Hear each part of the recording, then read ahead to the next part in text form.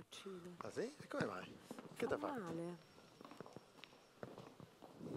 Direi che possiamo cominciare. Buonasera a tutti, benvenuti a Segnavia, ben ritrovati a questi orientamenti in un mondo che cambia, il ciclo di conferenze idea- ideato e organizzato dalla Fondazione Cassa di risparmio di Padova e Rovigo. Siamo giunti alla settima edizione. Vi ricordo che le segnavie, come dice la tradizione, sono questi eh, segnali lasciati dai viaggiatori per altri viaggiatori, per orientarsi appunto nel, nel, mondo che cambia, per affrontare le sfide, una volta geografiche, adesso intellettuali, culturali, scientifiche, come vedremo eh, questa sera.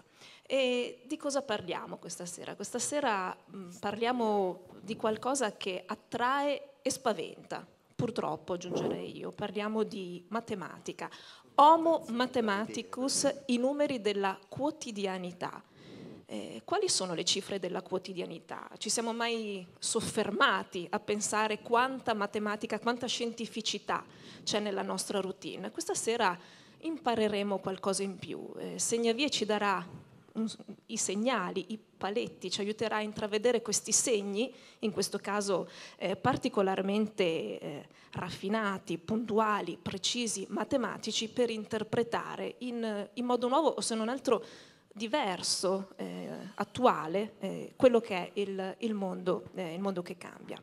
E per molti la matematica, non so per voi, questa sera lo scopriremo, è una sorta di ostacolo, forse un mondo, un mondo chiuso, riservato agli scienziati. Invece no, scopriremo che non è esattamente così, infatti quello di questa sera è uno di quegli appuntamenti da cui si esce cambiati, con un paio di lenti in più, o come piace dire a noi, con in tasca dei segni, delle segnavie eh, utili per interpretare quello che è il mondo che cambia. E, ehm, quello che questa sera cercheremo di spiegarvi, non lo farò io chiaramente, lo farà qualcuno di ben più titolato di me, anzi sono ben due persone, quello che cercheremo di spiegarvi è che invece la matematica fa parte della nostra vita, della nostra dimensione quotidiana. E che ci piaccia o meno, senza che ce ne rendiamo conto, in realtà tutte le strategie, tutti i piccoli calcoli che forse non ci rendiamo conto di fare ogni giorno sono ben presenti e sono, perché no, qualcosa di, di scientifico che permea la nostra vita senza che forse eh, ce ne rendiamo conto. Pensate che alcuni eh, pensatori, alcuni filosofi, alcuni sociologi parlano addirittura di etnomatematica. Non so se ne parleremo questa sera, ma insomma c'è chi sostiene che esiste una matematica del camionista, una matematica dello studente, una matematica, perché no, insomma, dell'artigiano, insomma, ognuno ha le sue piccole tecniche, le sue piccole matematiche che applica eh, ogni giorno. E questo incontro come, vedere, come, potete vedere insomma, attorno a voi ha destato davvero molta, molta curiosità, quindi non vi sto a tediare con ulteriori eh, con ulteriori introduzioni che eh, non hanno motivo di esistere. L'unica cosa ci piace eh, raccontarvi che non solo questa sera c'è un tutto esaurito in questa sala, ma anche domani, quando l'incontro sarà eh, ripetuto di fronte a Rovigo, di fronte a una sala piena di studenti, abbiamo fatto già tutto esaurito. Quindi questo significa che evidentemente la scienza, la matematica, quello che è eh, insomma al di fuori eh, della, di quello che pensiamo sia la nostra quotidianità, in realtà incuriosisce moltissimo. Prima di iniziare l'incontro eh, è giusto insomma, che vi dia il benvenuto un po' il padrone di casa assieme a me questa sera, che è il presidente della Fondazione Cassa di risparmio di Padova e Rovigo, Antonio Finotti.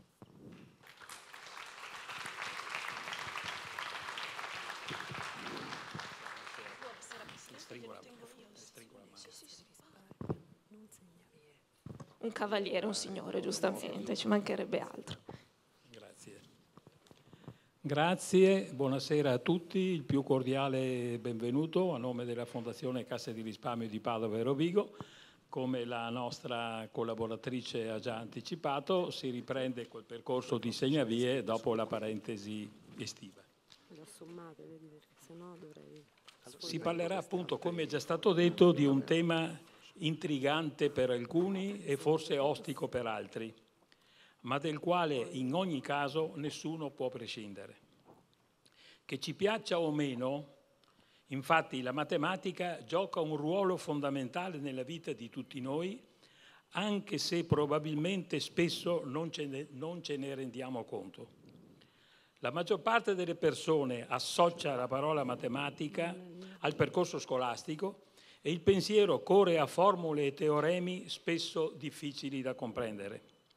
La conferenza di stasera ha l'obiettivo di contribuire a riavvicinarci ai numeri, dimostrandoci come siano alla base delle nostre scelte e delle nostre azioni e dunque influenzare in modo determinante la nostra esistenza. Sarà un viaggio che faremo in compagnia del professor Giuseppe Mingione, professore ordinario di analisi matematica all'Università di Parma e tra i primi 20 matematici al mondo per produzione di pubblicazioni ad alto impatto. Grazie davvero professor Mingione per aver accolto il nostro invito ed essere qui con noi stasera, così come per aver accettato, è già stato eh, fatto presente prima, di tenere una conferenza su questi temi domani a Rovigo per gli studenti delle scuole superiori della eh, provincia che come è già stato anticipato hanno risposto con estrema convinzione al punto che abbiamo il tutto esaurito. Voglio ricordare che questa formula di incontro riservato alle scuole, in aggiunta alla conferenza pubblica aperta a tutti, che con Segnavie abbiamo già sperimentato con successo in passato, nella convinzione dell'importanza di offrire agli studenti occasioni stimolanti di formazione e confronto pensate specificatamente per loro. E il fatto che per domani appunto si sia registrato il tutto esaurito ci rende particolarmente felici e ci conferma per l'ennesima volta la particolare attenzione che il mondo della scuola dedica a queste iniziative del nostro ente. Prima di concludere desidero inoltre esprimere un ringraziamento alla giornalista dottoressa Laura Margottini che interverrà questa sera, intratterrà questa sera il nostro ospite e contribuirà a stimolarlo con le sue domande che certamente saranno estremamente provocatorie. Grazie infine a tutti voi per aver aderito così numerosi al nostro invito e quindi vi faccio i migliori auguri di buon, di buon ascolto e buona serata. Grazie nuovamente.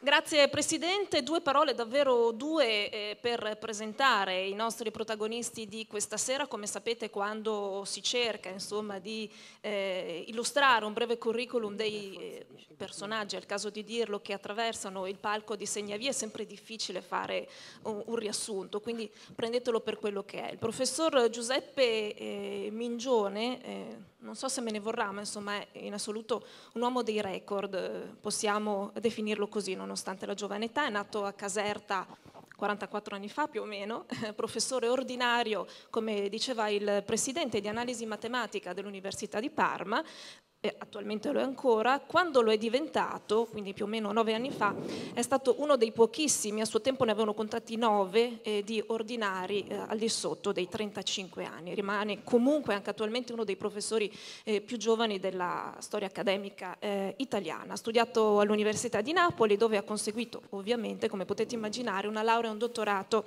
di ricerca in matematica. Il suo nome compare nella lista degli highly cited researchers, che sono i ricercatori ricercatori più citati, eh, primi 20 matematici del mondo anche per eh, interesse e per qualità delle ricerche che svolgono. Di cosa si occupa il professor Mingione? Lui ce lo spiegherà meglio, cerco di farvelo capire io così vi prendete subito paura. La sua specialità sono le equazioni differenziali alle derivate parziali, sono calcoli complicati, eh, che si utilizzano per descrivere mh, molti modelli della fisica. Lui probabilmente correggerà questa mia definizione in modo più preciso. Di riconoscimenti ne ha ricevuti davvero molti, eh, prestigiosi, ne citiamo solo uno, se vorrà ne citerà lui altri per eh, rendere eh, stringato il più possibile questa presentazione, che è il premio Caccioppoli del 2010, cioè assegnato dall'Unione Matematica eh, Italiana. Che dire, la definizione di genio nel terzo millennio sta stretta a chiunque purtroppo perché incredibilmente imbarazza, però di certo siamo eh, di fronte, e questo possiamo dirlo, ad uno scienziato dalle doti eh, non comuni. Ad intervistarlo, quindi a stimolare eh, quella che sarà un, ci piace dire, insomma, una, una chiacchierata eh, anche assieme a voi dopo, perché come sapete Segnavie dà spazio alle domande, e sarà la eh, dottoressa Laura Margottini, giornalista, donna, ci piace dirlo, per andare contro proprio quei pregiudizi, questa sera quell'aura di misoginia no, che ogni tanto eh, per ignoranza, a torto, insomma, spesso si associa alla scienza. La dottoressa Margottini eh, si è laureata anche lei, matematica, con il massimo dei voti, si è specializzata poi in giornalismo scientifico, non in Italia, ma all'estero, a Londra. Eh, si è formata alla BBC, attualmente collabora eh, con la rivista internazionale Science Magazine, Il Fatto Quotidiano, ha collaborato con New Scientist, Venerdì Repubblica, L'Espresso, insomma le maggiori testate scientifiche e non italiane e all'estero. Nel 2009, lo citiamo, ha vinto il premio giornalistico nazionale per giornalisti scientifici e collabora anche con la redazione del sito del gruppo di ricerca in fisica di sistemi complessi presso il CNR dell'Università La Sapienza. Quindi insomma un curriculum di tutto rispetto anche per la dottoressa Margottini. L'incontro sta per cominciare, ci rimane eh, solo da dire un'unica cosa. Vi ricordo che Segnavie è interattivo perché i segnali che vi lasciamo eh, vogliono essere attuali, presenti in questo mondo e anche in quello digitale. Eh, quindi vi ricordo che chi vuole commentare, condividere eh, quello che stiamo per eh, vivere eh, tra pochissimo, anche adesso. Eh, c'è la pagina Facebook di Segnavie e anche su Twitter l'hashtag è hashtag Segnavie. Vi ricordo inoltre che l'incontro sarà registrato e che potrete vedere, potrete rivederlo eh, interamente la prossima settimana sul sito di Segnavie che è molto semplice www.segnavie.it. Lasciamo quindi lo spazio al professor Mingione e alla dottoressa Margottini, prima al professor Mingione però buon, buon incontro.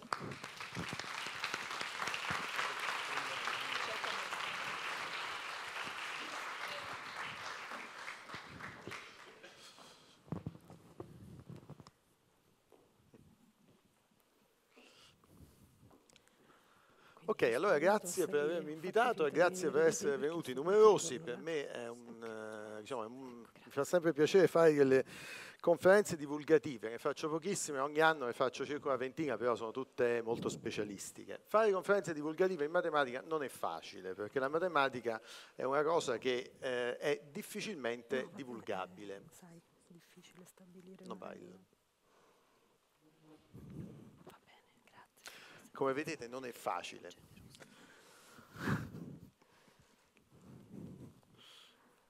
È carina questa Ok. cosa che anche il giornalista è Ok, eh, non è facile perché? Perché la matematica è una disciplina altamente tecnica e eh, esige prima di mostrare le sue idee più profonde, la propria bellezza, eccetera, tutta una serie di, ehm, di, ehm, di cose, di un, tutto un armamentario tecnico che uno deve necessariamente studiare, cioè usa un linguaggio altamente astratto e formalizzato che uno o lo studia oppure non c'è niente da fare.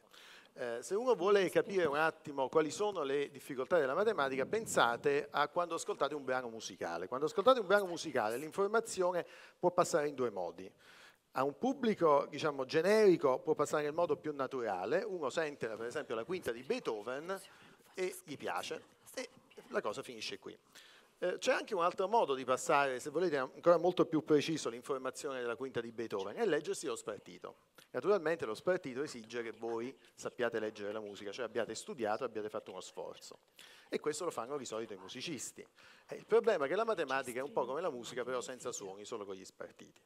Dal punto di vista eh, della musica è facile ovviare, voi comprate il CD, questo non è un- pubblicità, ne ho preso uno a caso, e l'ascoltate. Però per la matematica purtroppo questo analogo non c'è e questa è una delle ragioni per cui la matematica diventa così difficile e spiacevole alcune volte, perché è molto complicata e prima di mostrarsi, come dire, per quello che è, esige molta fatica e spesso anche ehm, così ehm, un po' di noia. Immaginate di dover imparare a suonare il pianoforte. Prima di arrivare a suonare un preludio di, eh, di, Bach oppure un notturno di Chopin dovete fare molti esercizi di titeggiatura e questi possono essere spiacevoli sia a sentirli che a farli. E infatti, se guardate per esempio le equazioni di Navier-Stokes, che queste sono le equazioni dei reti parziali, quelle di cui si parlava prima, e in- probabilmente la maggior parte delle persone eh, non, ci, come dire, non ci capisce niente in quello che c'è scritto lì. Allora, se fate il paragone tra queste equazioni e questo spartito e non sapete leggere né le equazioni né la musica, come vedete l'effetto è lo stesso. Quindi questo è uno dei motivi per cui la matematica è difficile da divulgare ed è, eh, come dire, molto antipatica alla maggior parte delle persone. E questo è anche uno dei motivi per cui tutti i tentativi di divulgazione che voi vedete fatti in giro, in televisione, per conferenze, festival della scienza, eccetera, sono dei eh, quasi falsi esercizi di divulgazione. Cioè non si parla mai di matematica, ma se ci fate caso si parla di racconti attorno alla matematica, si fa un sacco di aneddotica. Parla, non so, esce il film sul genio indiano della matematica, non, non ci sarà nulla di matematica, di vera matematica spiegato lì. Ci saranno un sacco di storie, ma queste storie non avranno a che fare con la matematica, avranno a che fare con i matematici. Allora io oggi tenterò in modo disperato di raccontare pure un po' di matematica, cosa che non si fa nei veri di, tentativi di divulgazione. In realtà la matematica è un po' scorretto dire che non ha un analogo, perché queste equazioni sono equazioni di Navier-Stokes, questi sono Navier-Stokes, che descrivono il modo dei fluidi. Adesso non, non stiamo qui a formalizzarci eh, eccessivamente sul, sul, su quello che significano. E quindi una controparte in natura ce l'hanno, perché descrivono il modo, il, dire, il modo dei, dei, fluidi. E naturalmente però, come dire, mentre la musica è una creazione dell'uomo, i fluidi sono lì in natura. E questo ci apre la porta a capire anche a che cosa eh, serve la matematica. La matematica serve anche a descrivere, soprattutto a descrivere la realtà in modo preciso, oltre dire, le parole. Quindi ci fornisce un linguaggio descrittivo enormemente più potente. Enormemente più potente perché descrive in modo preciso, in modo non ambiguo, ogni parola deve essere definitivamente specificata nel suo significato e quindi sarà, eh, eh, diciamo, sarà totale. Si guadagna quindi in precisione ma si, si, perde tanto in fatica, anche in piacevolezza alcune volte.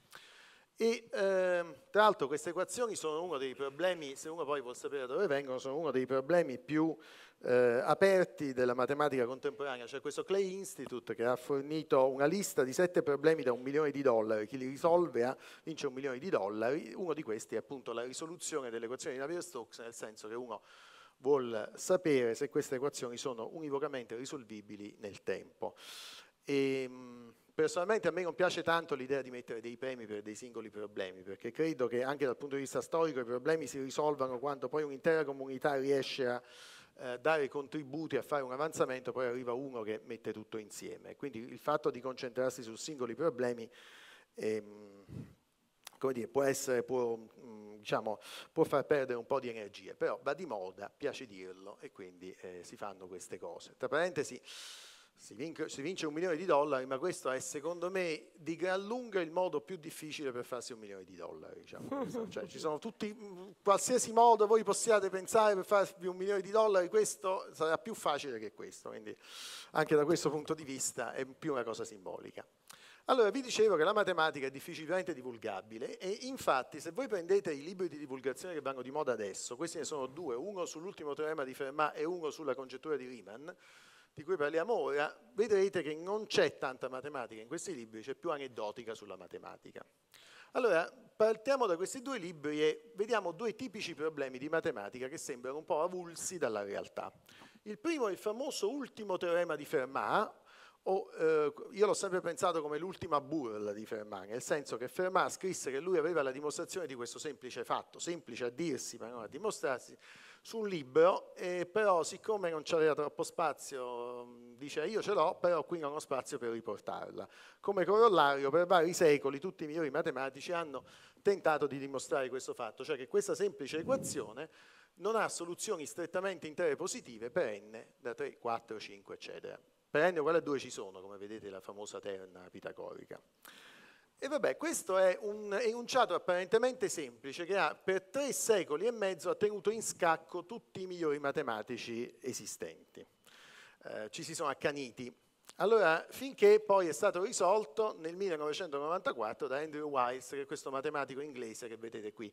È stato un grande evento in Gran Bretagna, è stato fatto cavaliere, è stato santificato, gli hanno addirittura intitolato l'istituto in cui insegna cosa che non è molto piacevole. Io vengo da Napoli, diciamo, non sono un napoletano tipico, però anche, però anche un non napoletano, un, diciamo, uno che non è tipicamente napoletano per scaramanzia, insomma, non mi piacerebbe vedere il mio nome nell'istituto diciamo, in cui insegno. Però tant'è eh, che stanno aspettando quasi che muoia, gli hanno fatto anche dei ritratti, insomma, quindi questo è Andrew Wise. Naturalmente anche in Gran Bretagna, quando questo ha fatto questo teorema, eh, hanno detto ah, ha risolto un problema che Gauss, Eulero, Riemann, i migliori non hanno saputo fare. In realtà è scorretto. Lui, eh, Gauss ci ha provato all'inizio dell'Ottocento, lui ci è arrivato alla fine del Novecento. Diciamo che in mezzo ci sono 170 anni di strumenti matematici che Gauss non aveva, quindi anche qui um, bisogna andarci piano, però bisogna, bisogna fare pubblicità anche nella comunità scientifica.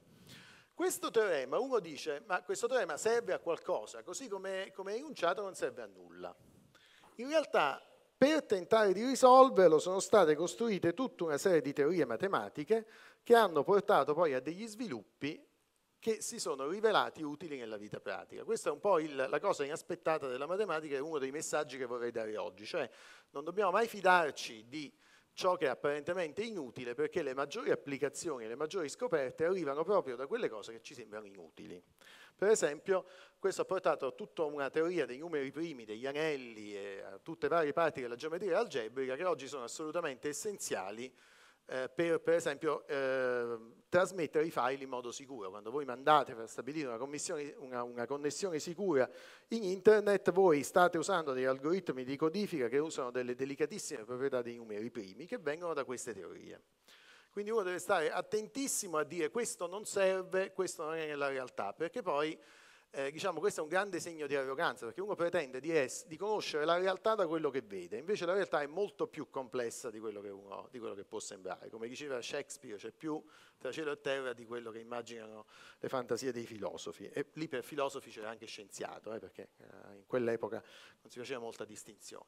Sempre sui numeri primi, l'altro teorema era la funzione z di Riemann, che è definita da questa somma infinita. Immaginate di poter sommare infiniti numeri, si fa, immaginate di poter elevare 3 a qualsiasi numero, anche complesso, si può fare, avete una funzione che è definita su numeri complessi. I numeri complessi sono quelli che hanno la parte immaginaria, la famosa radice di meno 1.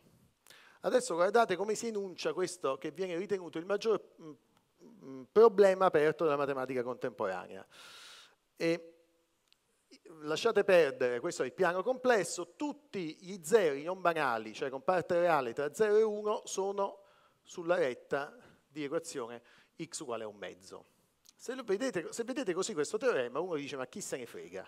In realtà chi se ne frega? Poi scopre che se uno riesce a dimostrare questa cosa si aprono intere teorie e si aprono interi, eh, diciamo, interi eh, intere vaste praterie di applicazioni che si, che, che si, fanno nella realtà. Quindi uno deve stare sempre attento. Per esempio, già Eulero aveva dimostrato questa straordinaria proprietà. Se voi prendete questa somma infinita, questa somma infinita è uguale a questo prodotto infinito, dove ci sono tutti i numeri primi. Questa identità permette di stabilire delle proprietà strutturali sui numeri primi che sono poi quelle che danno origine a certi eh, che, che, che giocano un ruolo molto importante in certi algoritmi di trasmissione sicura che erano quelli di cui parlavo prima. Quindi uno dei messaggi che dovrebbe venire da questa conferenza è che eh, anche ciò che sembra apparentemente inutile in matematica ce n'è tanto, in realtà è fondamentale. Ciò che ci sembra apparentemente inutile è soltanto perché noi siamo abbastanza miopi da non vedere quello che c'è oltre. E d'altra parte, se uno vuole scoprire cose molto interessanti e non banali, deve fare fatica.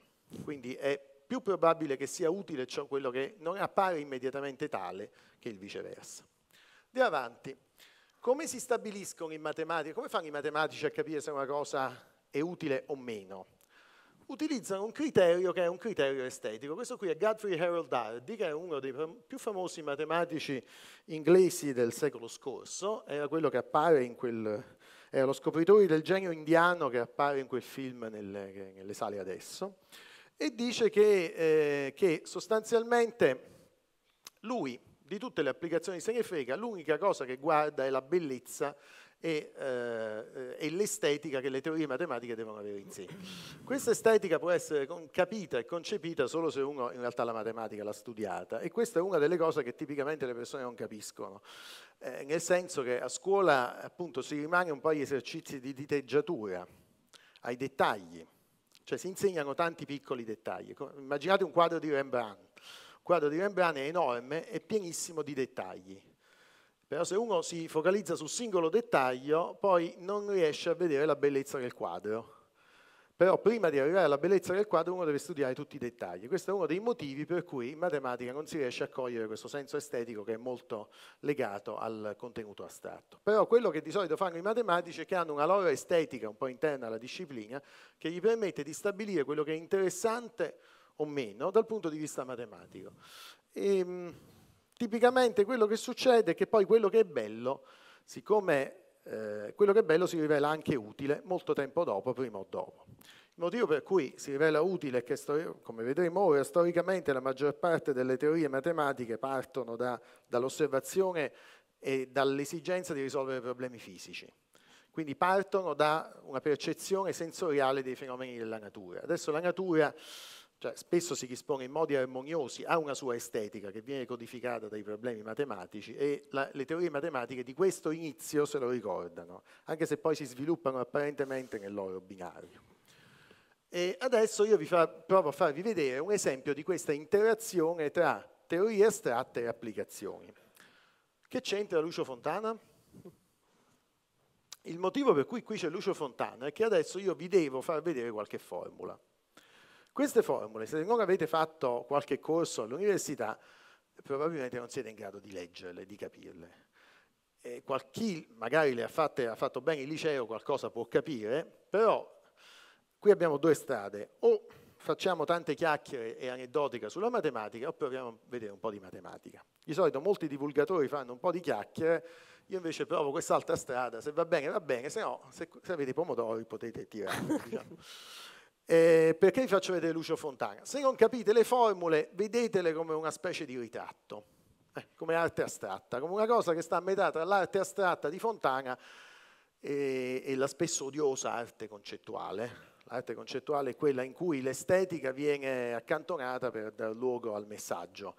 Molto utile agli artisti che non sanno disegnare, molto utile. Però insomma, c'è l'arte astratta e l'arte concettuale, vedete le formule come qualcosa a metà tra l'arte astratta e l'arte concettuale. Questi sono esempi di arte concettuale. Qui c'è un esempio molto interessante perché è un quadro che parla di se stesso, uh, an object self-defined, un oggetto che si è definito da solo, è lo stesso oggetto che parla di se stesso no? e quindi ha a che fare un po' con, famosi, con le famose eh, frasi autoreferenti che poi generano i famosi paradossi di Russell.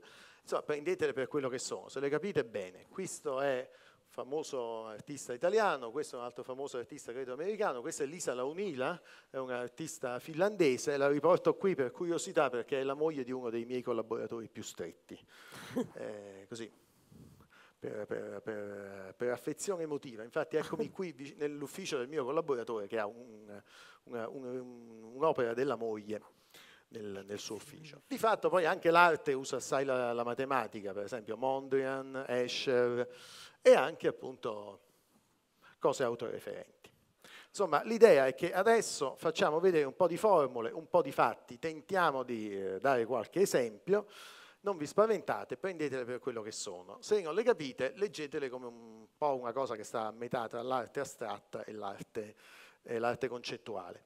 Di fatto quest'idea, che io poi ho sempre avuto, facciamo vedere le formule e poi almeno la gente si familiarizza, hm? perché poi è chiaro, se uno, vede, se uno comincia a studiare un po' di matematica e non ha visto neanche i segni, si spaventa. Se invece sin da piccolo ha visto dei segni, magari non si spaventa. Questa cosa è stata fatta nella metropolitana di Parigi recentemente. Nella metropolitana di Parigi, al posto di ritratti di, di, di, di bei modelli e modelle, appaiono queste formule non so quanto la gente capisca. La Francia è un paese molto scientificamente più avanzato dell'Italia, cioè una, una, una, un'educazione di base più avanzata scientificamente, però insomma le formule sono formule, la maggior parte delle persone non le capisce, però credo che l'effetto sia stato quello, quello un po' di mostrarle come se fossero dipinti di arte astratta e poi di eh, familiarizzare un po' le persone sia con le formule che con quello che volevano dire. In questo caso credo che siano formule legate a modelli che, del global warming, riscaldamento globale, non lo so. Però l'idea, quello che se ne vede, è quello che succede a Parigi. Allora, l'idea che ora vorrei farvi vedere è della serie perché le cose apparentemente inutili servono e perché la matematica vi entra nella vita contemporanea. Allora, quello che vorrei far vedere è uno schema classico di eh, formazione di teorie matematiche che vengono da problemi mh, che ci sono nella realtà.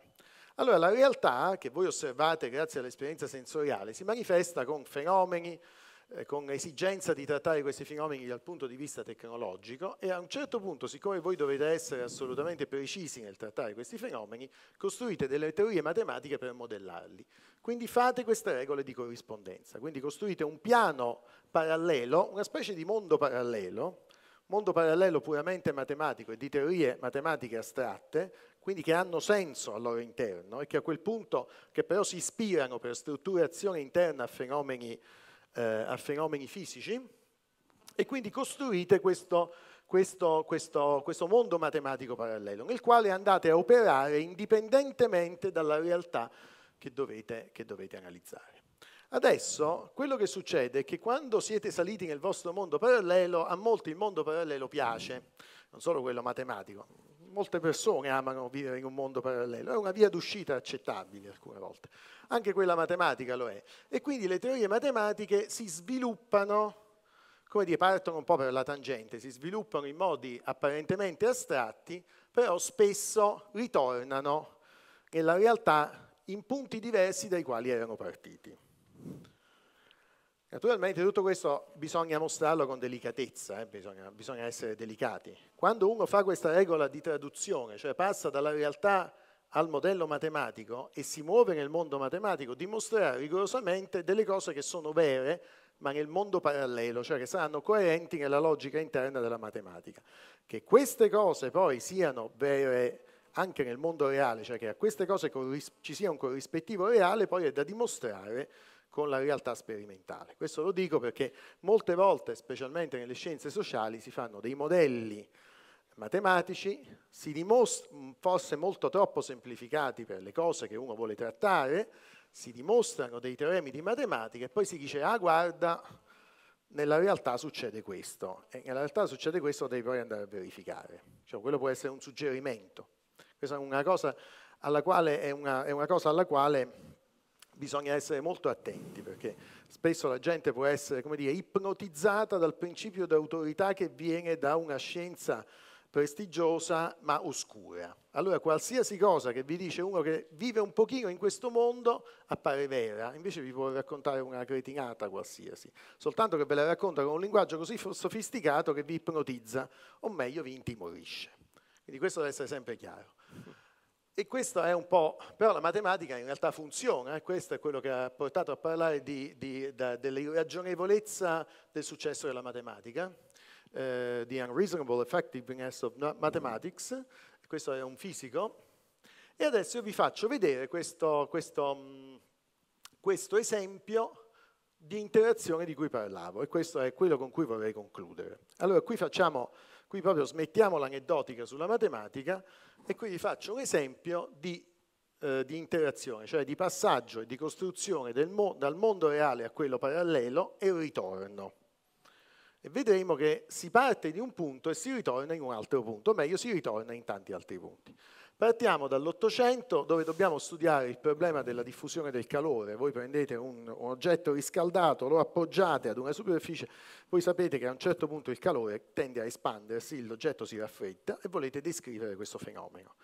Da qui esce tutto una, un modello matematico che si chiama serie di Fourier e queste serie di Fourier a questo punto, per il, stesso, per il fatto stesso di essere come dire, create in un mondo matematico, danno origine a nuove teorie matematiche. Queste nuove teorie si dipanano lungo sentieri che dimenticano apparentemente completamente il punto di partenza reale e poi ritornano nella realtà, ma ritornano in vari punti. Quindi questa è una delle cose importanti che uno deve sempre tenere a mente. Eh, se volete avere il, il, come dire, the big picture, non dovete eh, pensare che ogni singolo dettaglio debba essere immediatamente utilizzabile, ci sono dettagli il cui significato si capisce solo in un contesto più ampio. Allora, questa cosa orribile che voi vedete è la famosa equazione del calore. Questo è il famoso Laplaciano, questo è il coefficiente di diffusività di un materiale, questo è un tipico esempio del, del U è la temperatura di un corpo che si evolve nel tempo e questa è la diffusione. Se l'avete vista all'università, bene, se no fidatevi. Almeno su queste cose oggi non voglio barare. Insomma, il problema era di trovare delle soluzioni di questa equazione. Questo è un problema ben noto, classico, eccetera. A questo punto un matematico di nome Fourier inventa un metodo per risolverlo almeno in domini semplici come quadrati, rettangoli, eccetera, che si chiama separazione delle variabili, per chi l'ha fatto. Questo metodo lo porta a immaginare che ogni funzione, e la funzione è un'equazione a derivate parziale, è un'equazione in cui l'incognita non è un numero, ma è una funzione stessa, ogni funzione si possa esprimere come una somma infinita di funzioni elementari. Voi avete una funzione difficilissima, le funzioni che conoscete immaginate che sono solo segni e cosegni, con frequenze sempre più alte, allora la funzione può essere espressa con una somma infinita di, se di segni e coseni con frequenze sempre più elevate. Allora, Fourier in realtà intuisce che la formula è vera, se la dimostra in qualche modo, fa un sacco di errori, però ogni volta che una teoria nasce, nasce in mezzo agli errori, perché se una cosa innovativa non è che può nascere così perfettamente, immediatamente, no? nasce in una nebulosa che poi viene corretta. Questa, tutte le teorie scientifiche nascono così, anche teorie, la, la, teoria di Darwin. Tutte, infatti un modo abbastanza ingenuo per attaccare le teorie scientifiche è criticare il loro stato epistemologico molto vago di quando nascono. Se uno deve fare una cosa nuova, all'inizio qualche errore lo deve fare. E va bene, e infatti, come sempre accade, a questo punto abbiamo lasciato il problema di partenza e il fatto dell'esigenza di rendere rigorose eh, le, le, intuizioni di Fourier porta allo sviluppo di altre teorie matematiche. Queste teorie matematiche, questo è quello che dicevo, cioè una teoria ha degli errori, ma spesso sbagliando si impara, gli errori sono forieri di altri sviluppi. Questo è un classico, l'importante è far funzionare il cervello. E infatti in particolare si eh, rivisita il concetto stesso di funzione, qua siamo nell'Ottocento, si rivisita l'intero apparato teorico della matematica, e questo viene fatto da matematici tipo Cantor, si trovano nuove definizioni di concetti di infinito, insiemi patologici, tra cui anche quelli che si chiamano frattali, che intervengono poi nella natura in altro modo. Quindi qui è una prima dipanazione che ci porta a un altro eh, passaggio nella realtà. Vabbè, che cosa diceva Fourier? Diceva che tutte le funzioni si possono eh, ottenere come somme di funzioni di segni e coseni che hanno questa forma. Queste sono funzioni belline perché, come dire, sono molto regolari, cambia solo la frequenza. Qui la frequenza è più alta, qui la frequenza è più bassa. E questo è quello che diceva Fourier. Questa è una funzione qualsiasi che si ottiene come somma di due funzioni del tipo precedente. Quindi questa è l'idea. Queste cose, e questa è un'altra idea, questa è una funzione più complicata che si ottiene come somma di tutte queste sinusoidi. Come vedete quelle sopra sono semplici, quella di sotto non è più così semplice. Poi più una ne mette più si complica quella che c'è di sotto ovviamente. Fino a raggiungere tantissime funzioni che quelle che i matematici sono le funzioni a quadrato integrabile, L2. Insomma, la metafora è chiara, i segni e cosegni a, frequenza variabile sono i mattoncini dell'ego, i mattoncini sono cose semplici messi insieme possono fare cose più complicate. Questa è per esempio una riproduzione dell'ego della morte nera di Star Wars. E non vi spaventate, insomma. E, eh, a questo punto voi siete partiti dal calore e arrivate a qualcos'altro. Per esempio un segnale musicale. Quando sentite una nota, che cosa state sentendo? Perché la stessa nota è eh, da origine a suoni e a timbriche diverse se fatta da strumenti diversi. La spiegazione è che la, la nota viene definita dalla frequenza, ma ogni strumento quando riproduce una nota emette quella frequenza e tutte le frequenze multiple. Sostanzialmente le frequenze multiple sono queste e questa è la modulazione delle frequenze multiple. Se voi eh, se questa è diciamo, la frequenza della nota, Tutte, tutti, eh, queste due sono, sono due funzioni periodiche che hanno la stessa frequenza, vedete? Però sono diverse perché? Perché questi coefficienti cambiano, cioè avete un modo diverso di modulare le cose. Una volta che avete capito questo concetto, questi per esempio, eh, quindi a che cosa si lega il timbro e il suono di uno strumento? Si lega esattamente a questi coefficienti. I periodi sono sempre gli stessi, quindi la nota è sempre la stessa, però il timbro è diverso e se variate i coefficienti varia lo strumento. Questa è la distribuzione di un flauto, questa di un oboe, questa di un clarinetto, questa di un corno, questa di una chitarra e questa di un piano. il risultato è che alla fine ci potete fare il sintetizzatore. Perché? Perché se voi definite il timbro di uno strumento come i coefficienti, uno si ricorda solo dei coefficienti e ricostruisce in parte approssimando il suono prendendo i coefficienti. Naturalmente, siccome i coefficienti sono infiniti, non potete metterli tutti, noi possiamo trattare molti numeri ma non infiniti numeri, quindi ne potete mettere un certo numero, più coefficienti siete in grado di riprodurre, migliore sarà il vostro sintetizzatore, più vicino si avvicinerà allo strumento originale. Lo strumento originale non lo beccherete mai perché dovreste riprodurre tutti gli infiniti coefficienti, ma potete avvicinarvi con un grado ragionevole di precisione. Questo è un esempio di come siamo partiti dal calore e siamo per esempio arrivati a un sintetizzatore. Naturalmente tutto questo si può fare purché voi abbiate sviluppato molte teorie matematiche che vi permettano poi di fare queste manipolazioni. Da questo punto di vista la matematica è un linguaggio che dovete svilupparlo e, per svilupparlo dovete svilupparlo tutto. Non potete pensare di sviluppare solo quelle parti che servono, perché voi stessi non sapete quali servono. Questo è uno grandi, dei grandi equivoci. Io voglio sviluppare quella parte della scienza o quella parte della matematica perché quella mi serve. Tu pensi che sia quella che ti serve, magari quella che ti serve sta da un'altra parte e tu non lo sai. Questo è un tipico esempio. Poi dalle serie di Fourier, per esempio, si passa alle trasformate di Fourier, leggetevi queste formule, sono una versione delle serie di Fourier nel continuo e eh, vengono da una disciplina che si chiama analisi armonica. Che cosa ci fate? Per esempio progettazione di circuiti, spettografia, cristallografia, trasmissione dei segnali, manipolazione delle immagini. Perché ci fate tutte queste cose? Perché in realtà in matematica quello che conta per stabilire le strutture matematiche è la relazione che si stabilisce tra degli oggetti. Fenomeni diversi possono essere tradotti nella stessa equazione matematica e quindi quando uno sa trattare quell'equazione tratta tutti quei fenomeni contemporaneamente. Questo è un classico della matematica. La matematica ha questo potere un po' sintetizzante, siccome studia le relazioni che si danno tra gli oggetti, le stesse relazioni, le stesse strutture di relazioni possono intercorrere in vari aspetti diversi della realtà. Quindi una volta che avete capito come trattare un fenomeno, poi ne trattate fenomeni completamente diversi in cui scoprite che le relazioni tra gli oggetti si sono messe nelle stesse, nelle stesse cose. Dalle trasformate di Fourier si fa un'altra cosa che si chiama trasformata di Radon, inizio del Novecento. La trasformata di Radon è quella cosa che vi consente di fare la TAC, la tomografia assiale computerizzata. Questa è un'altra applicazione inaspettata ed è una cosa che salva molte vite, perché? Perché prima, prima di fare la TAC, per capire uno che aveva, uno doveva andare in sala operatoria, farsi aprire e poi si vedeva. Ora, oggi si fa la TAC e eh, si risparmia l'interventino. Come si fa la TAC? La TAC si fa così, voi sparate dei raggi X, questo è l'oggetto che volete analizzare, sparate dei raggi X, quindi i raggi X partono da qui, da dove li sparate, e poi li raccogliete qui. Naturalmente, quando passano l'oggetto, alcuni raggi X vengono fermati, no? alcune, alcune, particelle. E naturalmente, se lo e quindi voi avete quello che sapete dove, sapete quello che sparate, sapete quello che ricevete, e su ogni retta sapete quanto avete perso.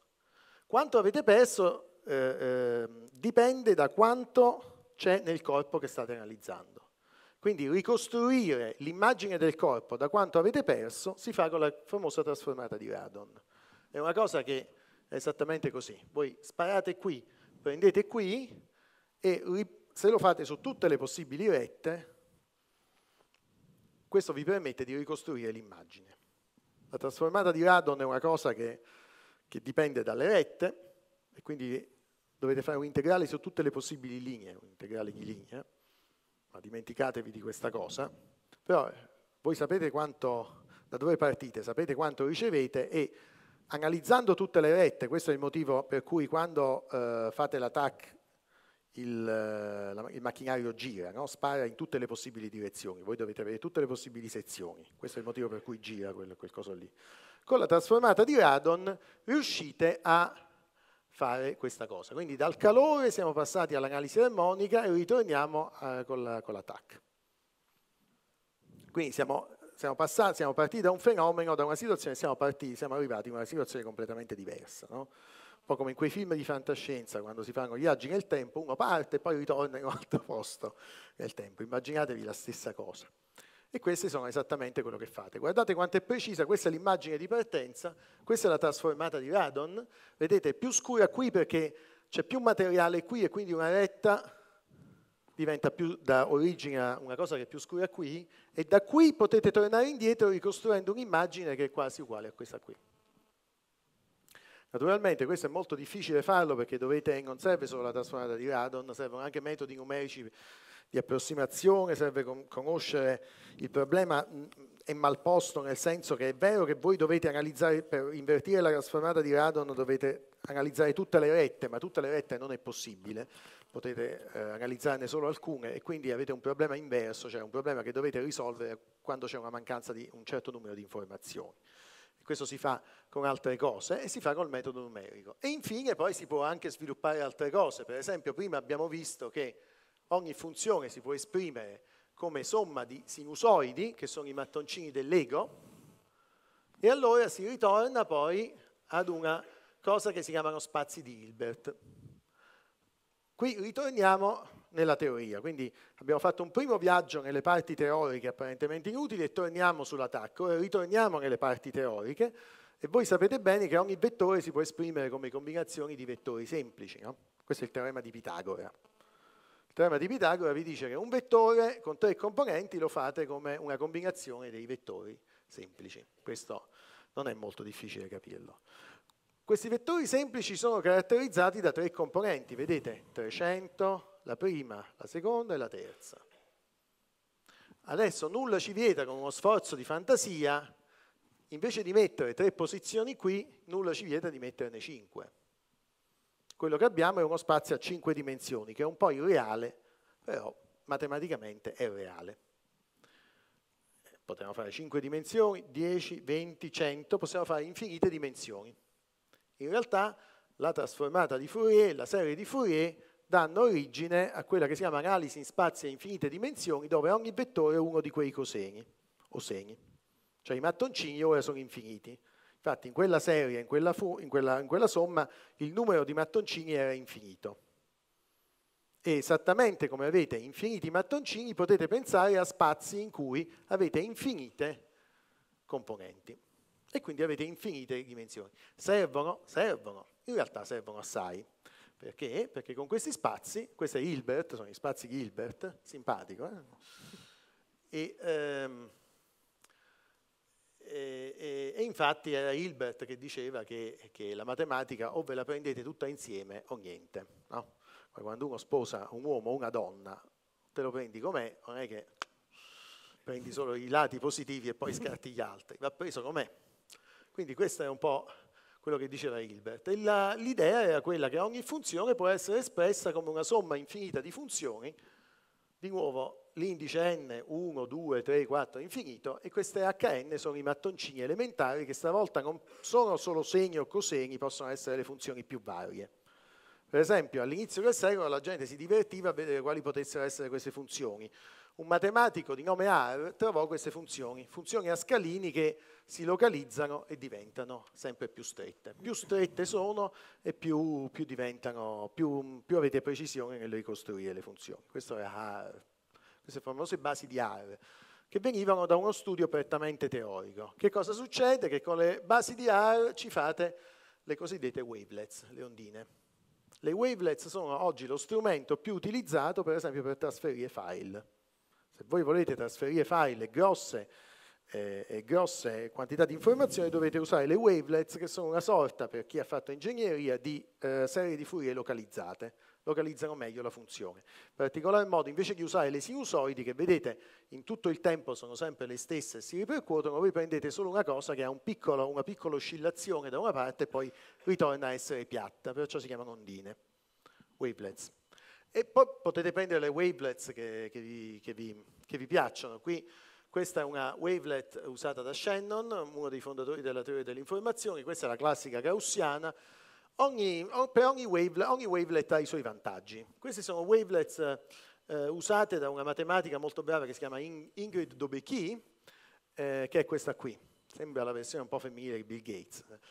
Eh, però è molto brava e, e servono le wavelets perché servono appunto a tradurre segnali, servono a, a fare manipolazioni molto, molto delle, delle, più varie, servono a localizzare. Però il concetto delle wavelets è sempre quello che va, che va da Hilbert. Quindi ricapitolando, siamo passati dal calore, siamo passati, dal calore siamo passati alle serie di Fourier, le serie di Fourier danno origine a sviluppi teorici, però ci permettono anche di fare i sintetizzatori. Torniamo indietro, ritorniamo nella, nella, parte astratta e facciamo le trasformate di Radon e quelle ci permettono di fare le TAC. Torniamo indietro e facciamo gli spazi Gilbert e questi poi si scopre che quindi più strumenti matematici avete più potete descrivere la realtà. Questo è il vero senso della, della cosa. La matematica è un linguaggio, più è esteso, più parole avete, più potete descrivere la realtà.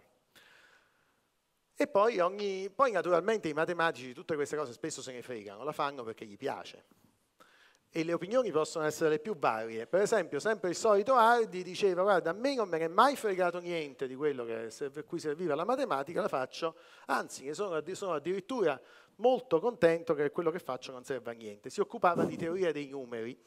Poco dopo la teoria dei numeri sarebbe diventata lo strumento più usato per come dire, fare, fare la trasmissione di file codificati. Povero Hardy, le ultime parole famose.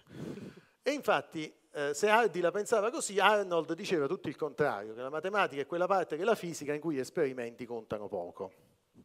Quindi, come vedete, anche all'interno dei matematici, se sono tutti d'accordo nel dire se una cosa è vera o falsa, poi le opinioni filosofiche cambiano. Quando si passa dalla matematica alla filosofia si cambia, si va sempre un po' nel vago.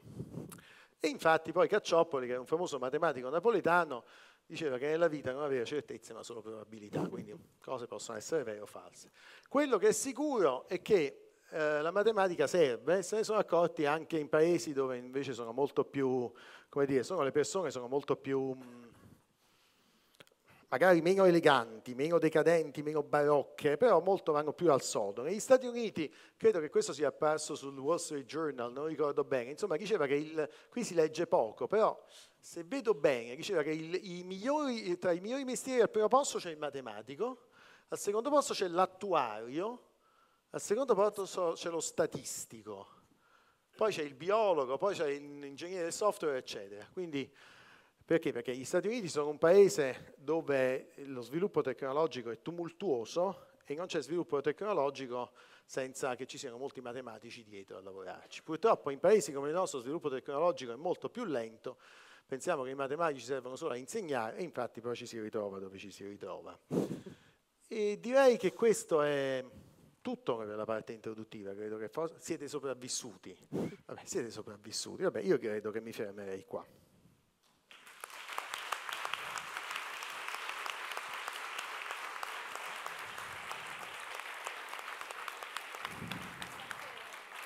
Vado?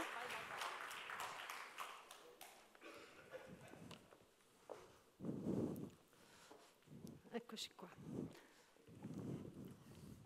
Vabbè, adesso credo che ci sediamo e, e quindi devo, devo, subire un interrogatorio eh, da, purtroppo. Da, sotto torchio da, da Laura. Tanto buonasera a tutti e grazie al pubblico e al professor Mingione per questo interessantissimo intervento. Speriamo che ha eh, rimarcato un fatto che trovo importantissimo, e cioè quello che eh, studiare la matematica, una disciplina così astratta, in realtà delle ricadute anche tecnologiche importantissime, no? come hai appena ricordato anche alla chiusura del... E imprevedibili soprattutto. E imprevedibili. Imprevedibili. Questo è il punto Quindi anche centrale. rimarcare questa idea che non possiamo decidere a priori quale problema astratto ci condurrà poi ad ottenere sì. un'importante anche applicazione Questo tecnologica. Questo è un fatto fondamentale. Sì. Fondamentale che estenderei anche un po' a tutta la ricerca di base in qualche maniera. Sì, no? a volte diciamo, si vuole, si volta, pensa che... Ogni volta che, si di, che, si di, che dirigisticamente si dice in che direzione andare, poi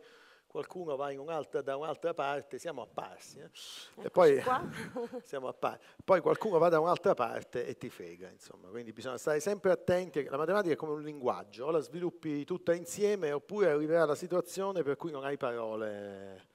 Esattamente, eh, che, che non che possiamo decidere prima sì. quello che scopriremo fondamentalmente. No, no, no. Ecco, che mi sembra anche abbastanza... Mm Ovvio. Ecco, ehm, quindi visto che ecco, abbiamo anche mh, studenti appunto tra il pubblico, no? io vorrei intanto entrare subito nel vivo dell'intervista così poi lasciamo anche un po' di spazio alle domande del pubblico. Mm.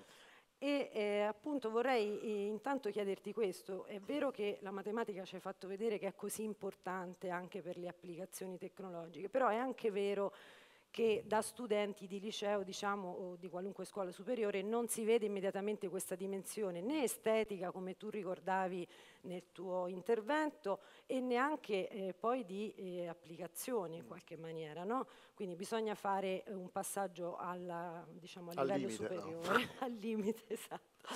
Eh, però appunto dicevo, intanto ecco, eh, per te qual è stata appunto la molla che da studente in qualche modo ti ha spinto poi a scegliere proprio questo eh, corso di studi e ovviamente immagino che avessi eh, già sviluppato un certo talento e quindi vorrei anche chiederti in che modo si è manifestato e quando. E poi vorrei anche chiederti se oggi, eh, appunto eh, nel 2016, in questi anni, eh, per uno studente che appunto si, trova, si, troverà nei prossimi mesi a decidere no, il proprio percorso universitario, eh, perché eh, se c'è ancora un motivo, una, una stessa molla in qualche modo che potrebbe invitarlo a scegliere matematica, una disciplina che si presenta, come dicevi tu, in maniera anche molto astratta mm. rispetto all'ingegneria che è mm. più visibile no? sì, sì, per sì, uno studente. Quindi ecco, intanto comincerei da, da, da questo punto. Diciamo. No, la, cioè, la, mia esperienza non è poi alla fine differente. Eh, allora, qui bisogna capire prima di tutto che cosa intendiamo, perché un conto è la cultura matematica generale che dovrebbero avere tutti e che è, se, al contrario di quello che si pensa, molto meno complicata da avere. Uno più si spaventa, quindi non la studia, ma in realtà poi, specialmente se è insegnato in un certo modo, si può, eh, si può capire e se uno poi la studia. E poi è un conto, eh, un altro discorso eh, è quello per il ragazzo che poi vuole studiare effettivamente matematica, vuole farla nella vita. Eh, diciamo, in quest'ultimo caso un po' di talento devi avere, un po' di inclinazione, perché la, la, la, la, matematica è comunque una disciplina molto astratta. In quel caso però non, io non mi preoccupo troppo, perché la matematica, come si diceva in quel film su, su Cacciopoli, cioè, non è tanto importante che ti piaccia, è importante che tu piaccia a lei, diciamo. E quindi ti viene a cercare, per esempio, ognuno scorge brandelli di matematica da qualche parte e poi se gli piace se la va a prendere. Nel mio caso mi ricordo che quando avevo 12-13 anni c'era mio padre che importò un vecchio computer, un Commodore 64 a casa, io iniziai a programmarlo, i programmini davano soddisfazione perché tu mette, erano come un giochino, no? tu gli mettevi dentro le, le istruzioni, quelli funzionavano, giravano e quindi ti divertivi. Poi da lì ho approfondito, ho cominciato a studiare qualche linguaggio di programmazione e poi a 15-16 anni programmavo in vari linguaggi diversi che oggi ho dimenticato, ma forse non si usano neanche più. E, e, ehm, e, e, poi decisi di approfondire un po' le basi teoriche perché ero comunque astratto eh, attratto dagli aspetti più astratti e teorici. E poi studiandoli così presi familiarità, non so, con varie cose in modo disordinato, con le, la teoria delle grammatiche generative di Chomsky, mm -hmm. che è un fatto una, di fatto una parte della è un fatto matematico. Eh, però poi mi resi conto che alla base dell'informatica il vero succo eh, c'era la matematica e quindi decisi di, di, di, di studiare matematica. Insomma, ecco. non, è, non, è, una cosa. Quindi, tu, quindi tu, la vai a già... cercare, sì. Questo per chi poi vuol fare il matematico. Poi il discorso è un po' diverso per la cultura generale di matematica che secondo me dovrebbero avere tutti e verso la quale c'è un timore, secondo me un po' immotivato, ecco. più culturale che fattuale. Diciamo. Cioè, diciamo quindi perché ecco, in questo caso, in questo senso la matematica può e dovrebbe eh, essere parte della cassetta un po' degli attrezzi, degli strumenti di ogni cittadino anche non esperto, no? Cioè questa dimensione no, c'è, un dato, allora, c'è un dato di fatto oggi, che è un dato di fatto anche diciamo, preoccupante, eh, nel senso che eh, noi, vi, noi viviamo in un mondo estremamente complesso noi abbiamo a che fare sempre di meno con oggetti, con cose, con, con cose che si toccano, abbiamo a che fare con informazioni, con, con concetti, siamo, in, in, siamo dire, invasi, eh, travolti dall'informazione. Uh-huh. Se tu vuoi dominare un mondo così complesso, così caotico, devi essere in grado di mettere ordine nella tua testa, cioè devi avere un pensiero logico e degli strumenti di sintesi che ti permettono di fare, di fare, ordine nella tua testa, altrimenti rimani confuso eh, a tutti i livelli. Allora, la matematica è lo strumento principe per fare questa cosa. Alcune volte basta guardare un grafico, basta guardare una funzione e si possono risparmiare tante ore di, di, di, aneddotica, di suggestioni, di racconti. Questo è importante che sia bagaglio di ognuno, altrimenti, eh, eh altrimenti poi si paga poi si paga, perché oggi viviamo in un mondo in cui la quantità di, di simboli da manipolare è aumentata e questi simboli possono essere manipolati soltanto se uno ha, certa, ha, un certo bagaglio, un toolbox di nozioni e sa come usarle. Diciamo, una realtà più complessa richiede una persona, un uomo più complesso. Ecco. Certamente. Quindi, quindi la matematica riesce a fare sintesi più di qualsiasi altra disciplina. Diciamo. l'aspetto della sintesi, anche la capacità di astrarre eh, probabilmente sì. dal dato solo sì, sì. che puoi vedere. Sì, di fatto è come si manipolano i big data. No? Oggi un grande business odierno è quello che è i big data. No? Tu hai queste grandissime quantità di dati che sembrano apparentemente disordinati e poi usi degli algoritmi per metterci ordine. Adesso non è che ogni persona deve manipolare i big, deve estrarre correlazioni certo. dai big data, però ognuno ha la sua quantità di big data quotidiani, no? Viene ogni, um, la vita ti, ti, ti, ti, prende con tutta questa quantità di cose da fare, quindi è meglio che tu abbia un metodo anche mentale per farlo. Anche per orientarti, mm. quindi semplicemente. Sì, quindi è un fatto culturale generale. Web sociale. Sì, sì, sì.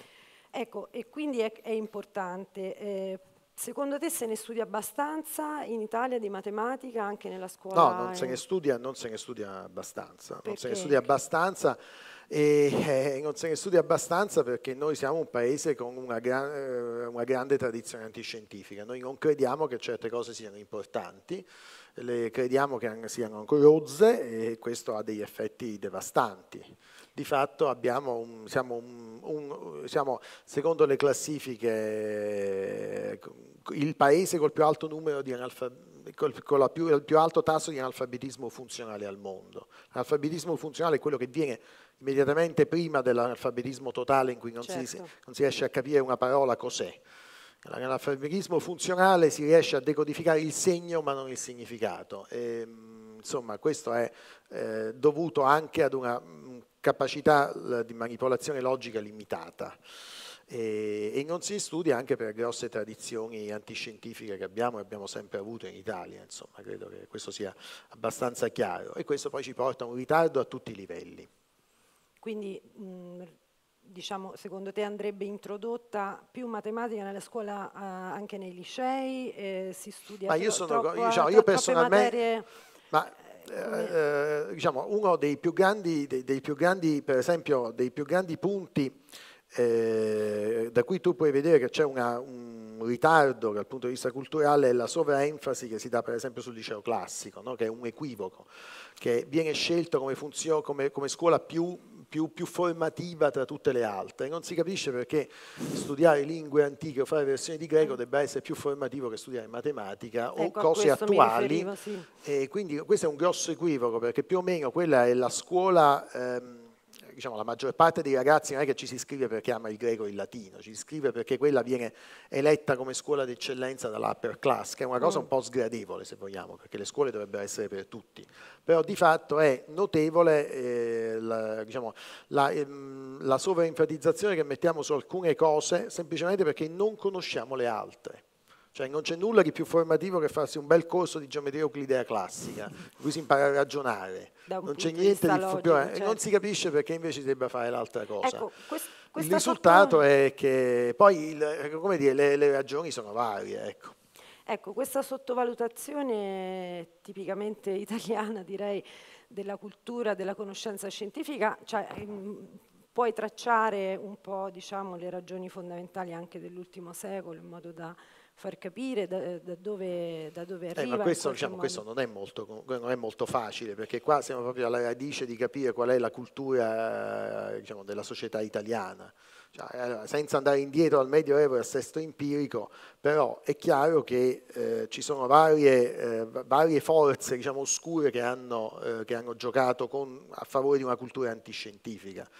Sicuramente la presenza della Chiesa Cattolica, ha, una forte presenza politica non ha giovato. Qui siamo a Padova, è, diciamo, è, è, impossibile non ricordare che, eh, che l'Italia aveva il, il dominio, eh, diciamo, la supremazia sulla, sulla, conoscenza scientifica con Galileo e la sua scuola. Poi Galileo fu preso, torturato, inquisito, la scuola fu, fu, fu debellata, diciamo così, fu, fu smantellata, perché ovviamente se tu vedi che il caposcuola viene eh, torturato, forse gli studenti vanno a studiare da qualcun altro.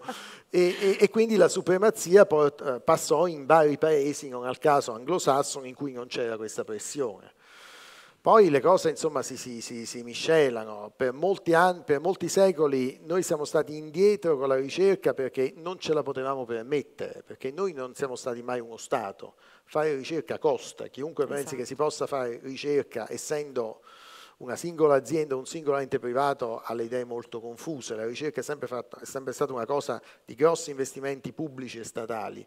L'Italia è rimasta indietro perché noi avevamo piccoli staterelli che non si potevano permettere so, di imbastire grosse università, grosse, eh, grosse spedizioni. Quando la, insomma, quando la ricerca è cominciata a costare, eh, noi siamo andati giù. Noi siamo andati giù. non abbiamo mai smesso. No, abbiamo, no, no, no, no, ci sono stati no, alti, e, ba- di, ci sono stati alti e bassi. Nell'Ottocento ci siamo un po' ripresi.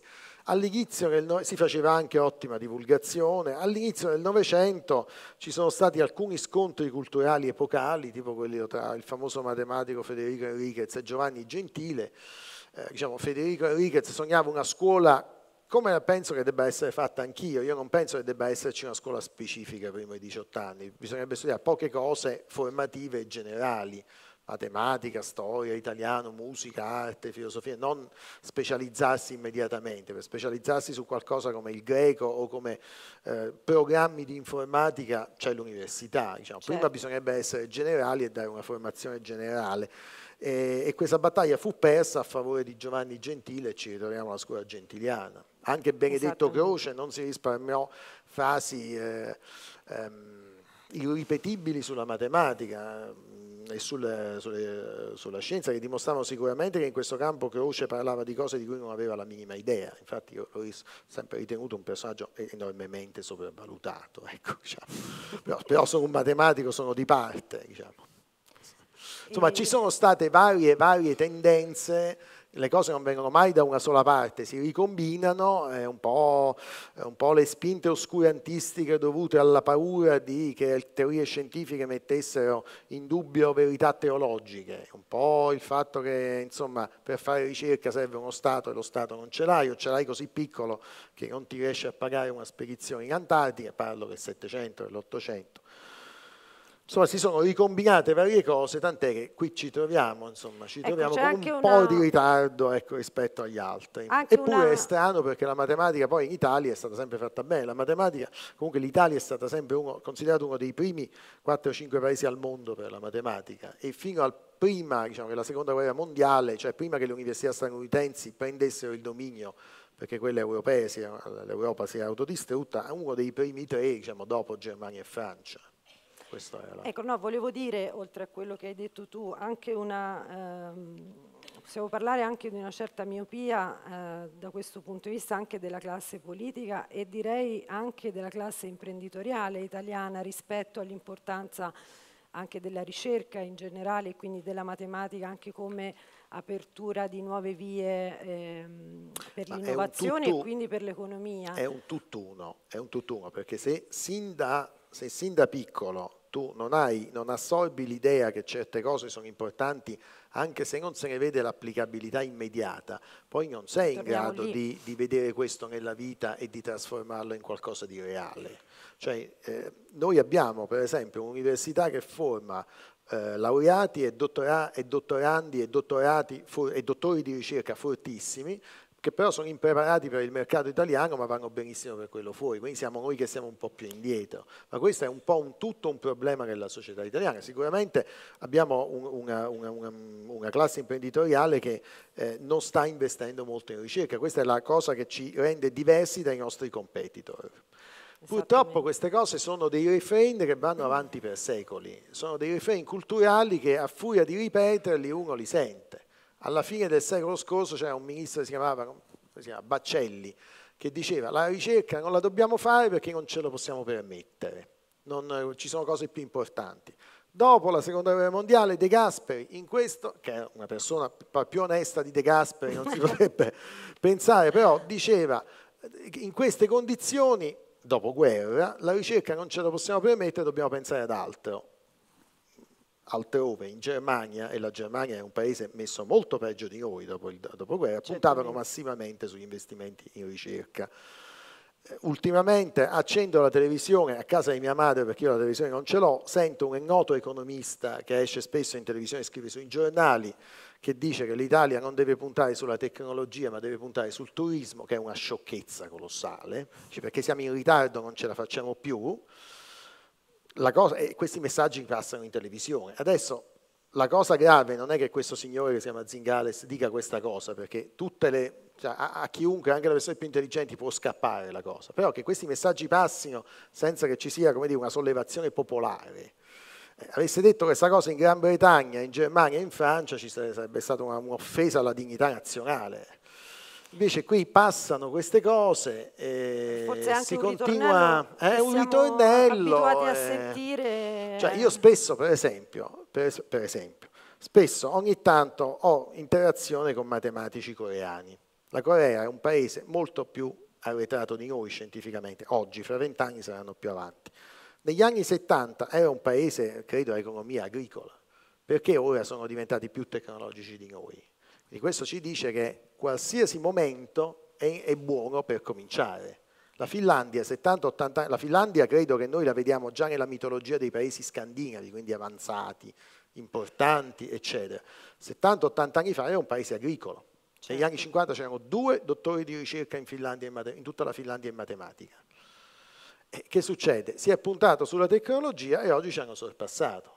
Una storia cardine è quella della Nokia la Nokia, non tutti sanno che negli anni 20 era una falegnameria, perché che vuoi fare in Finlandia se non fare del legno certo. all'inizio del secolo, hanno tutto quel legno. Poi qualcuno ha capito che col legno forse non andavi così avanti e negli anni 50 si sono riconvertiti con la chimica, per cui se tu vai nei mercatini di Helsinki trovi ancora un sacco di bellissimi stivali di gomma targati Nokia e dici ma come non fai cellulari? No, prima faceva gomma. Poi negli anni 60 la Nokia si è riconvertita sull'elettronica e ha massicciamente investito in ricerca e in dottori di ricerca. Cioè questa flessibilità ci manca, questa, anche questa idea di capire che poi le cose che non si vedono sono importanti. Certo. È come un po' il trucco del prestigiatore, quello ti sega la, la signora in due, eh, però eh, la cosa importante, rimarchevole, sta dietro a quella che non vedi, è tutto l'armamentario che ti fa veramente credere che quello segui la signora in due. E invece noi negli anni 60 svendevamo fondamentalmente l'azienda Olivetti, no? il sogno di Adriano no, Olivetti. Se uno guarda aperto... l'Olivetti e uno guarda anche i negozi no, che avevano, vede tutte le idee della Apple, eh, non, esatto. si, non, si, capisce prendere... Però magari non... è, utile ricordarlo sì, che sì. mentre la Finlandia passava dal legno, dagli stivali... Eh, la Nokia, io non sapevo questa storia della Nokia, però siccome vado ogni anno in Finlandia molte volte perché ho dei collaboratori finlandesi, Mm, in un, paese, in un, mercatino vidi degli stivali targati Nokia e rimasi un po' confuso e quindi mi feci raccontare la storia della Nokia. Senti, invece tornando appunto alla matematica, ehm, ci puoi parlare un po' anche di, del, del, del, secolo scorso, è stato un secolo in, cer per certi versi anche molto importante e glorioso per la matematica italiana, no?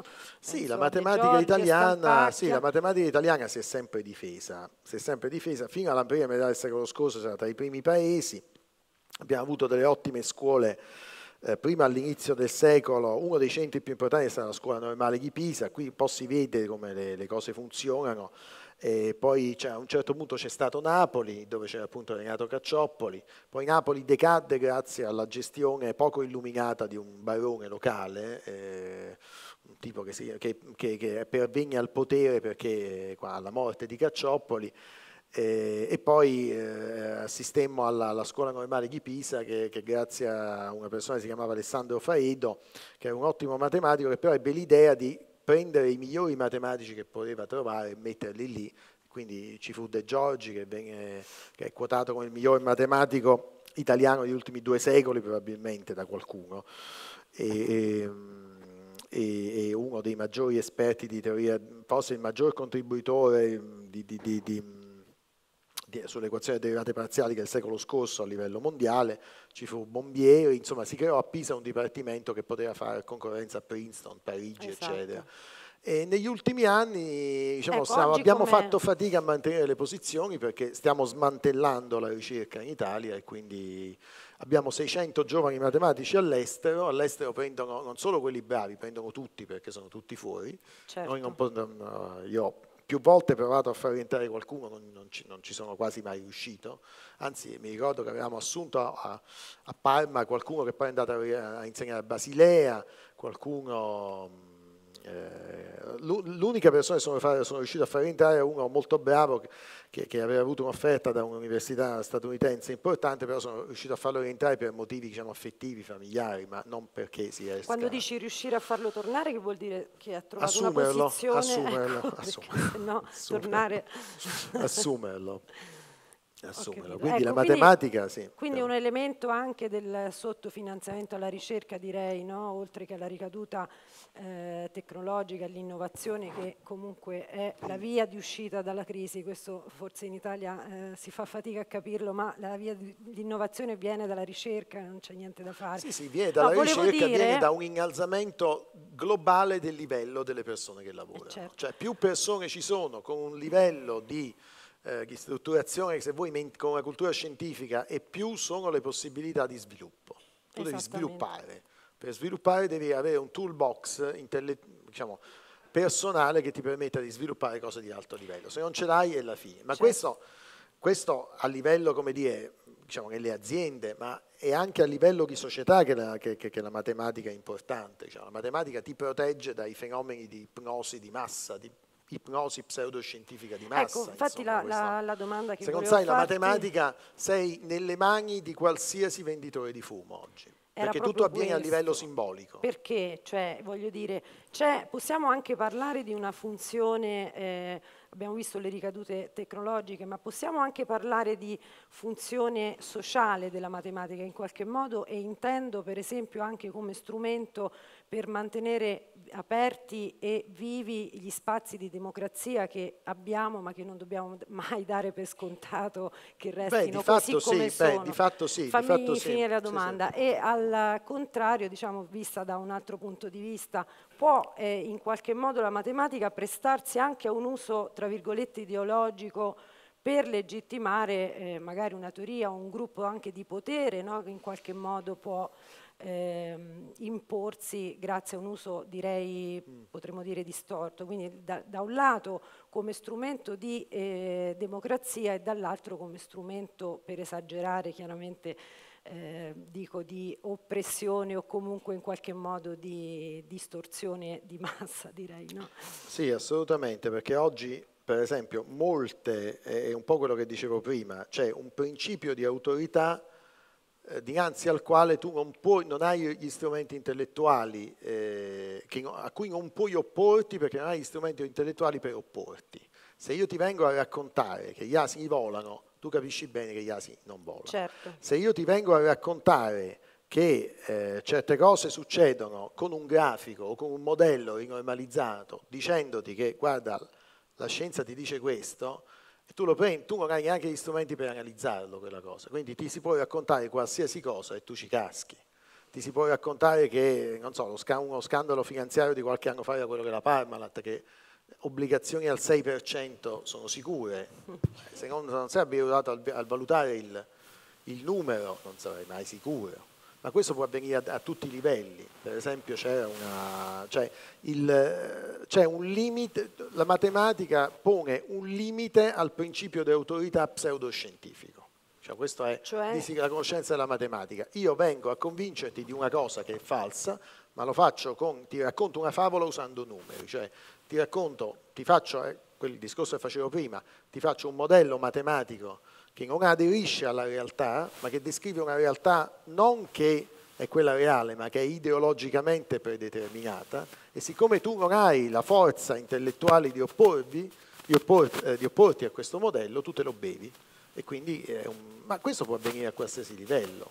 E, cioè quindi sono, e quindi torniamo all'importanza di, studiare la matematica per capire per mondo, esperti, per capire cioè il mondo oltre le applicazioni immediate. Di sicuro una cosa Eh, diciamo, questo può avvenire a tutti i livelli. Infatti credo che adesso abbiamo quasi esaurito insomma, il tempo che c'era, però potrei raccontarti questa cosa, questo è un raccontino molto simpatico. Cioè, non è vero che solo l'uomo della... Cioè, la, la matematica ti aiuta anche, non so, a, a, conservare il patrimonio. Questo è accaduto, per esempio, con quelli che hanno messo i soldi nelle obbligazioni della Parmalat. Però può avvenire a qualsiasi livello. Una storia molto interessante è raccontata da un matematico che lavora a New York, che si chiama Marco Avellaneda. Sì. Avellaneda è un famoso matematico e fisico matematico, negli anni 70 lavorava sulla teoria dell'omogenizzazione poi cambiò idea e si mise a fare modelli, anche devo dire molto buoni, per, per descrivere l'andamento dei mercati finanziari, modelli stocastici molto delicati, in cui si riusciva a limare un pochino e quindi se tu li utilizzavi potevi fare dei rendimenti migliori.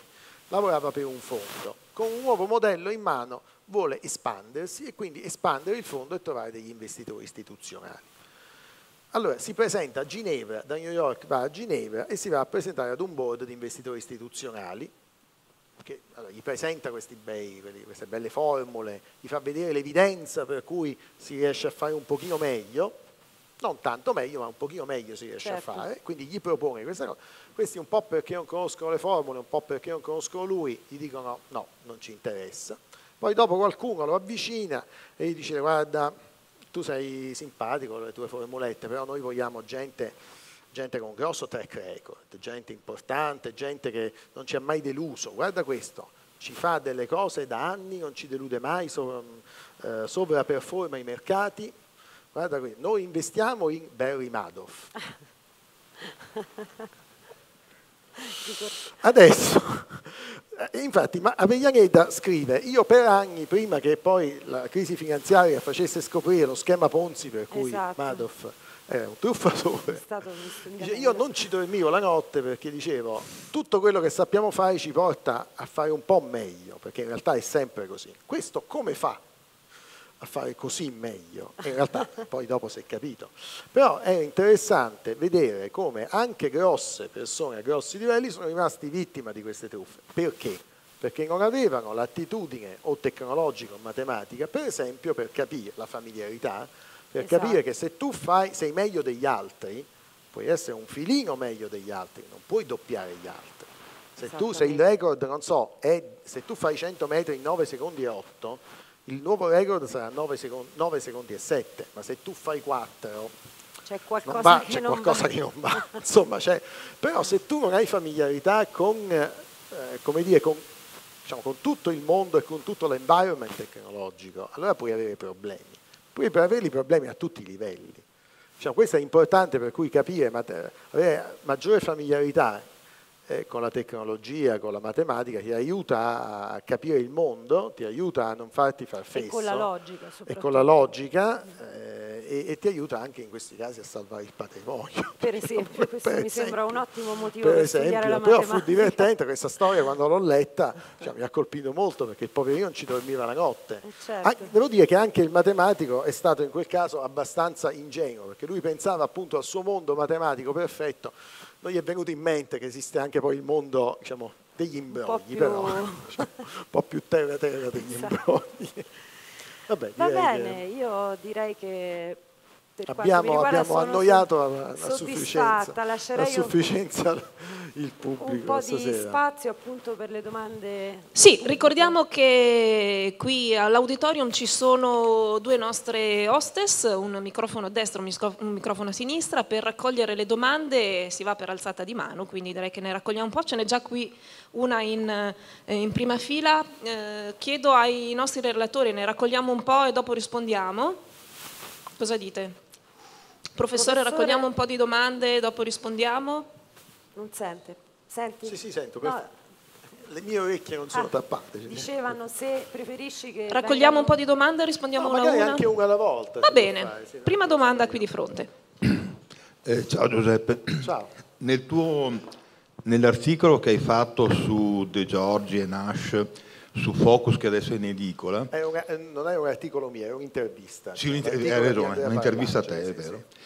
E a un certo punto accenni che nella diversità nel risolvere quel famoso problema tra De Giorgi e John Nash influiva il dialogo, il rapporto diciamo, tra Cacciopoli e De Giorgi. Potresti spiegare qualcosa o è troppo complicato? No, non è complicato, è che diciamo, De Giorgi in questa famosa risoluzione di questo, uno dei più famosi problemi, forse il più famoso problema dell'epoca sulle equazioni derivate parziali, eh, mh, mm, eh, intuì immediatamente la soluzione battendo di molto tempo John Nash, il famoso quello di A Beautiful Mind, infatti questo poi precipitò John Nash in un baratro eh di disperazione.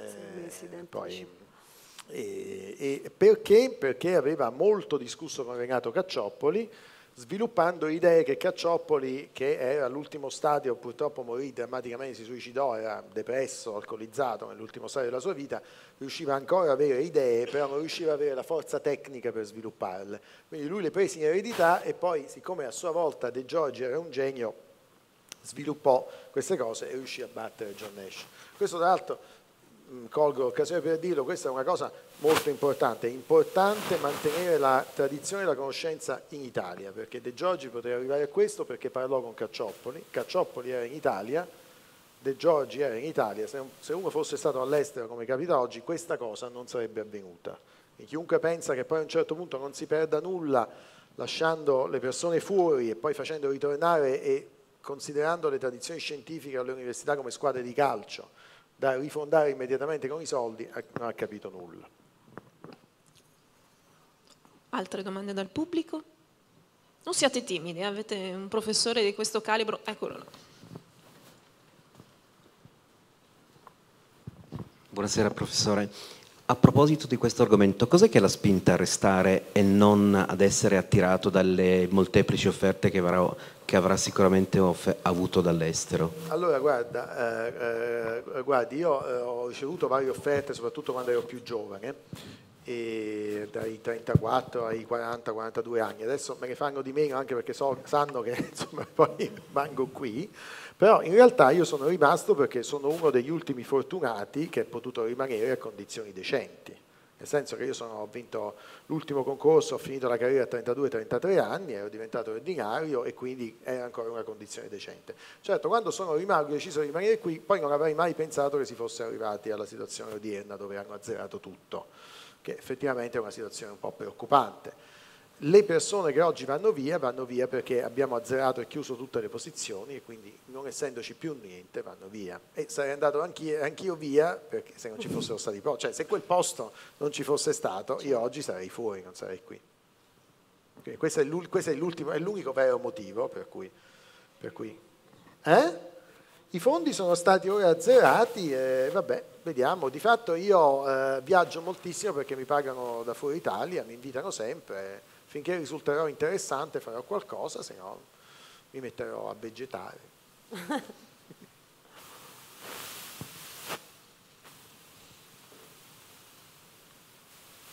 Eccoci qui di fronte, qui, qui, qui, seconda fila, professore. Eccoci qua, sta arrivando. Grazie.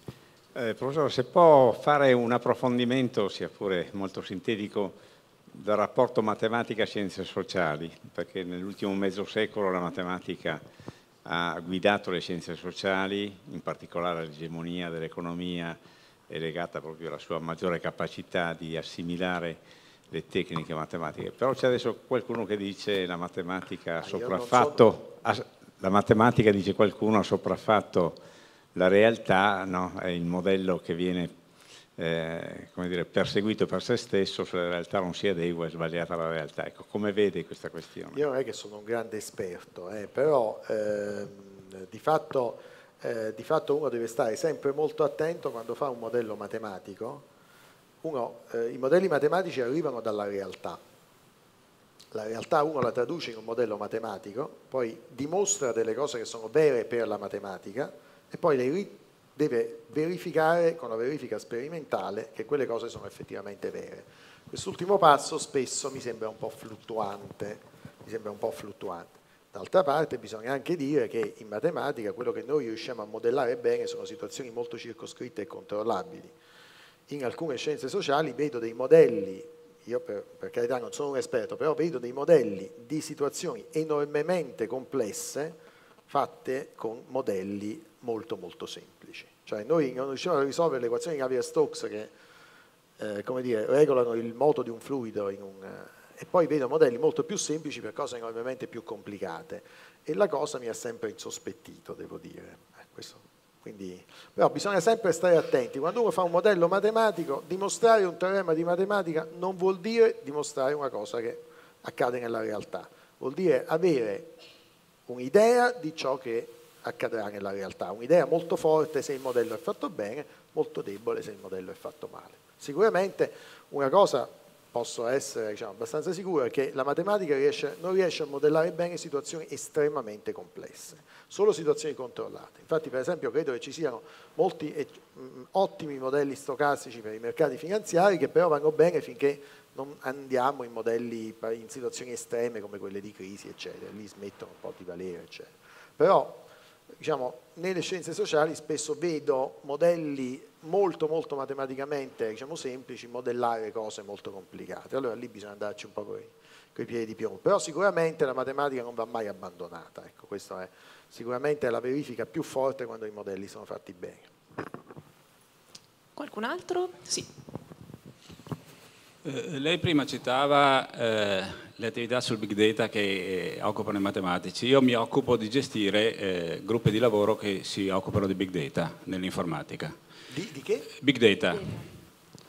Big data o big ah, data? big data, big data, okay. non ho sentito bene. Eh, quindi quando attrezziamo questi gruppi di lavoro assumiamo eh, neolaureati informatici, fisici, matematici. Cosa accade? Che gli informatici facciamo fatica a trovarli perché sono tutti straoccupati, neolaureati. Matematici abbiamo un sacco di curriculum, 110, 110 lode, dobbiamo scegliere.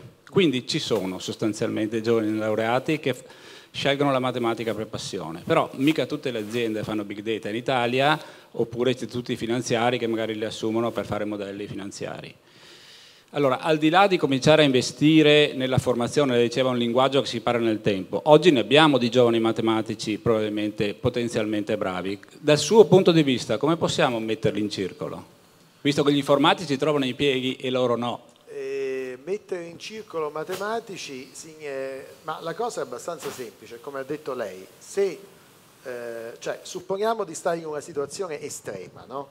In cui l'economia del paese si basa sull'agricoltura, noi questi matematici non li mettiamo mai in circolo, questo è ovvio.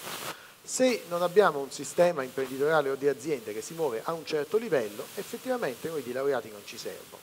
Quindi potremmo dire di non farne, no? Però poi la conseguenza è che fra vent'anni andiamo tutti a zappare.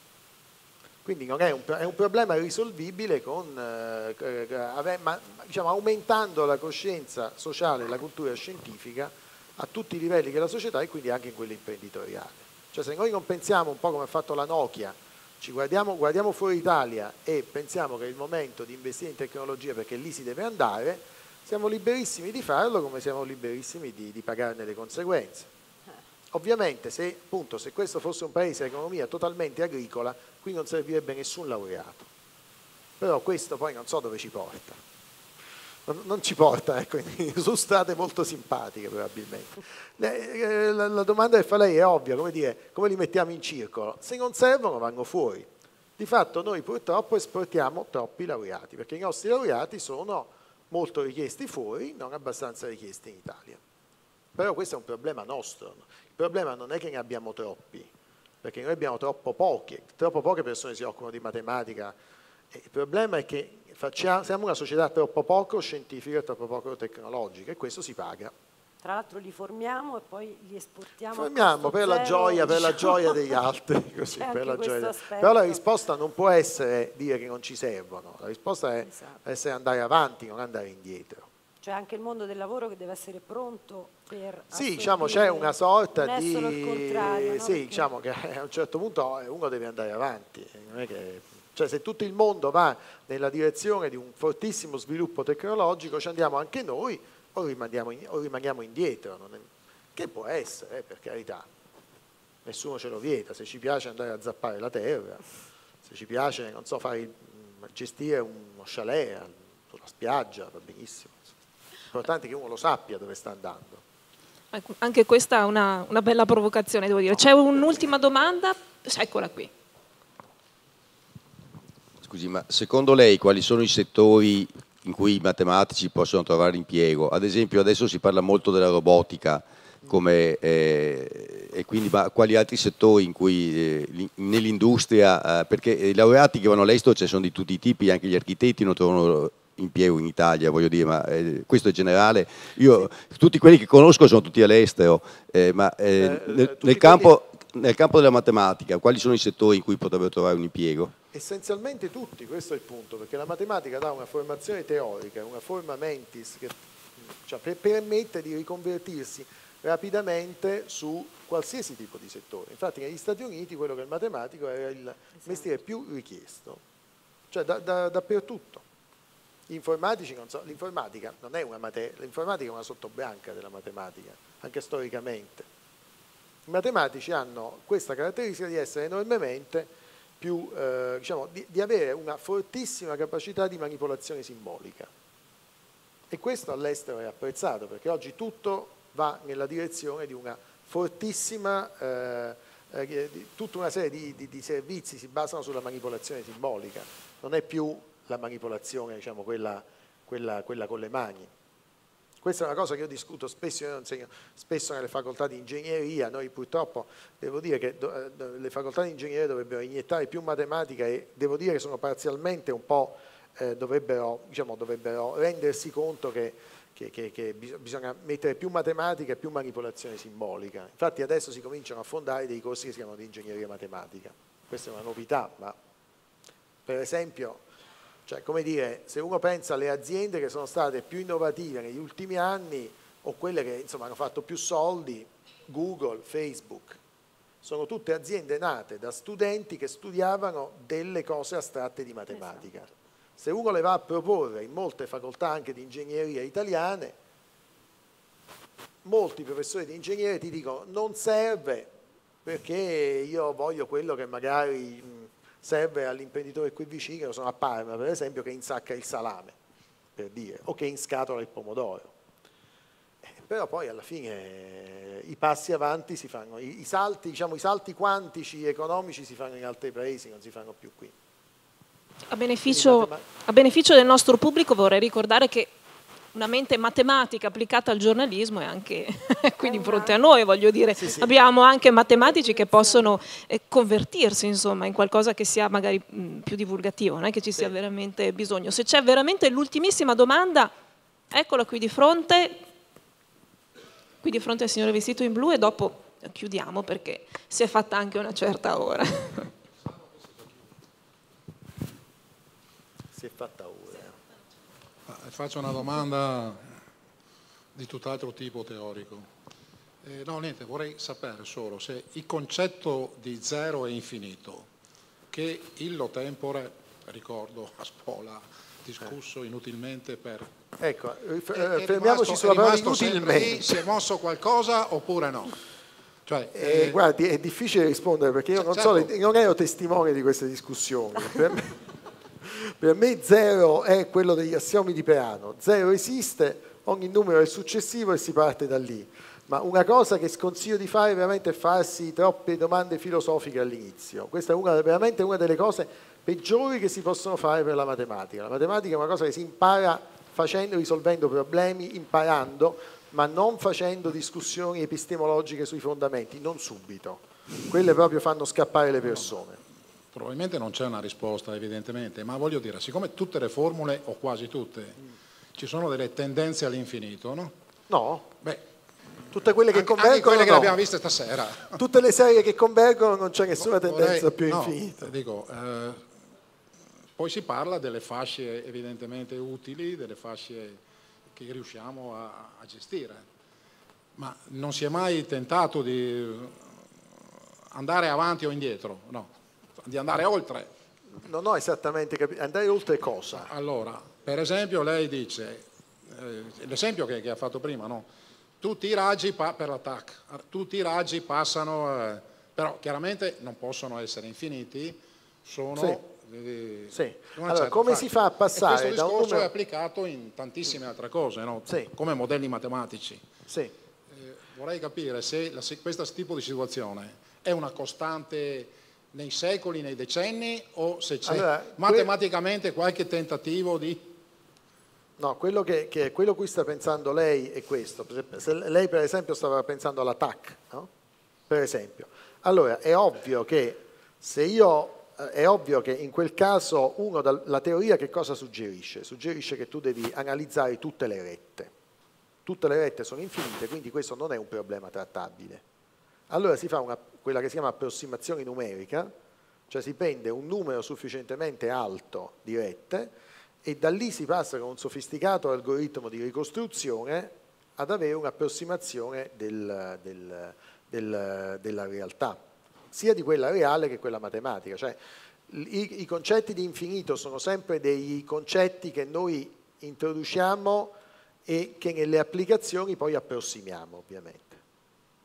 È chiaro che io per ricostruire un oggetto non posso analizzare tutte le rette, perché le rette sono infinite e nessun computer, né quello di oggi, né quello di domani, né quello di Star Trek o Star Wars ce la fa.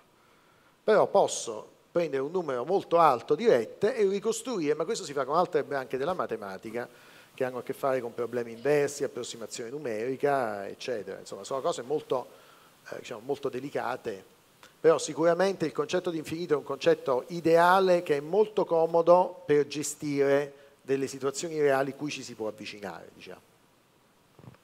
Cioè, sono concetti ideali questi. Nella realtà ci si può solo avere un'approssimazione l'esempio dell'attack è chiaro, ovvio.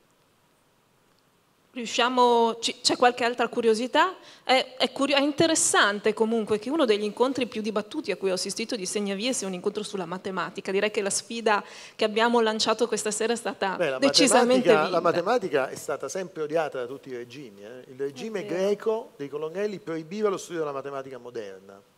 Lo proibiva perché la matematica moderna eh, introduceva un certo tipo di assiomatica che poteva potenzialmente essere eh, lontana dalla realtà. Eh, insomma, quindi siamo tutti rivoluzionari quindi, un pochino sì. questa sera. eh, l'ultimissima domanda per chiudere con una battuta, se ce la facciamo. Abbiamo avuto un pubblico decisamente eterogeneo questa sera, no? di, di, varia età, probabilmente anche di varia eh, estrazione, dico proprio in ambito, in ambito culturale. C'è un'età mh, mm, per cui una persona eh, ideale per cui una persona possa interessarsi alla matematica? Mm, sono già tutti un po' over o, no, c'è ancora no. speranza? Vabbè, dipende, se uno vuole fare il matematico professionista e dimostrare i teoremi, forse se parte dai 70 anni è un po' tardi, però non c'è nessuna, nessuna età alla quale non si possa iniziare a godersi un po' di matematica, poi il livello uno se lo sceglie. Diciamo. Certamente. Cioè, Possiamo cioè, diventare ancora tutti uomini cioè, non, matematici. Non, non, vedo, non vedo ecco, differenza tra la matematica, tra leggersi la matematica e leggersi un romanzo, leggersi altre cose. Non, eh, è proprio, questo Beh, è un preconcetto. Ecco. Ce la facciamo allora a dare un consiglio di lettura al nostro pubblico questa sera? Uff. Eh, vabbè, due libri erano lì per, giusto per appassionarsi, però il problema della matematica è comunque quello che ho detto prima, cioè che la matematica uno per farla veramente dovrebbe studiarsela. E quindi ci sono, per esempio c'è un libro che si chiama di, di eh, Current e Robbins, che è molto bello, eh, che cos'è la matematica per Bollati Boringhieri, credo è un buon compromesso tra divulgazione e poi matematica reale, cioè leggere un libro, molti libri di divulgazione sono libri in cui eh, il lettore ha l'impressione di stare leggendo matematica, ma in realtà non sta in, leggendo matematica, sta leggendo storie sulla matematica, che è una cosa un po' diversa.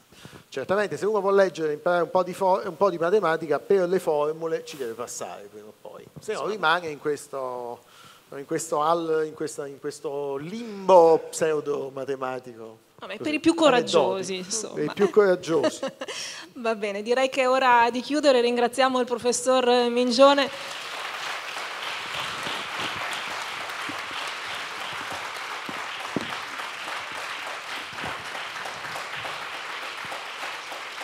E, e la dottoressa Laura Margerotti. Io vi ricordo che prossima, il prossimo appuntamento con Segnavie, quindi il prossimo Segnavie è il 18 ottobre con il professor Manfred Spitzer, parleremo di una cosa eh, veramente interessante, neuroscienze e la demenza digitale, che credo ci riguardi anche in questo caso davvero da vicino, ovvero quella che potrebbe essere la patologia della vita moderna. Quindi l'appuntamento al 18 ottobre a tutti quanti, grazie per essere stati con noi. Grazie.